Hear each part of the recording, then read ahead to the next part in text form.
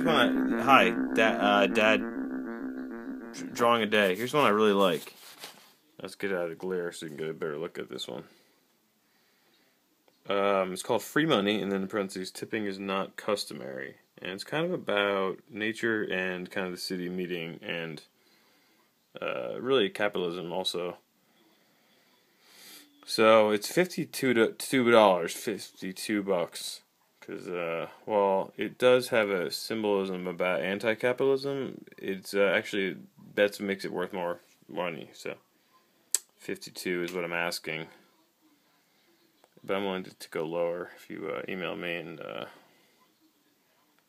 work something out. I guess.